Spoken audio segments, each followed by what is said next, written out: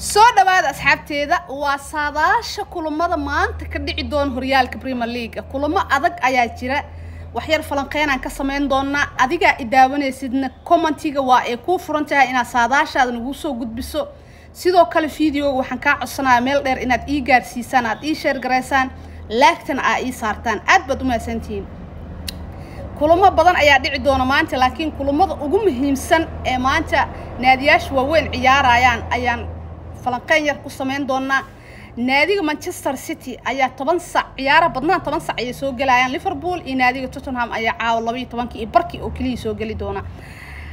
Manchester city iyo naadiga fulham ayaan ka bilaabaya city hadday galabta ee badiso horyaalka hogaankiisa ayay ku soo laabanaysaa muddo dheer kadib ilaa laga gaarayo kulanka arsenal iyo naadiga chelsea oo habeen dambe ciyaari doona manchester city fulham.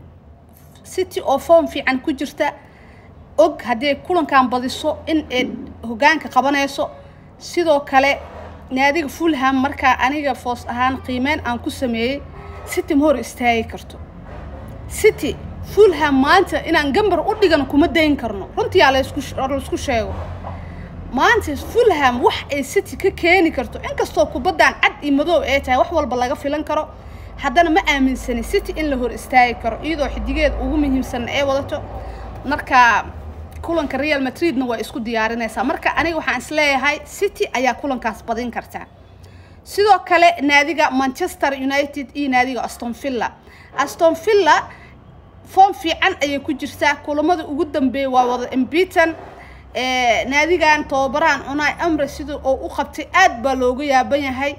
Wacdaro weyn ayay dhigaysaa united kulankii ugu dambeeyey guusha iyadoo gacmaheeda ay ku jirta ayay iska baaldareysay dhibco dhibcahaasna muhiim ayuu u ahaa oo kaalinta maanta saddexaad ayay si fiican u sii xijisan lahayd united hadda laba dhibac ayaa laga sareeyaa oo kulan kaalinta saddexaad.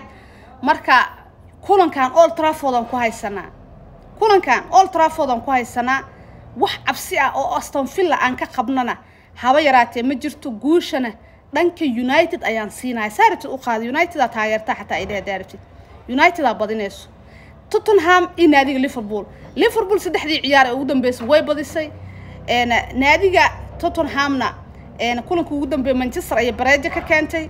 Marka kulankaasna daro ayaan u saadaalinaya sidoo kale newcastle ayaa ciyaari doonta. Newcastle labadii ciyaar ee ugu dambeysay toban gool ayay soo dhalisay. War newcastle maxaa i daba southampton ay la ciyaareysaa newcastle gurigeedaa la joogaa marka southampton waxba kama filan karno. Newcastle aa badinayso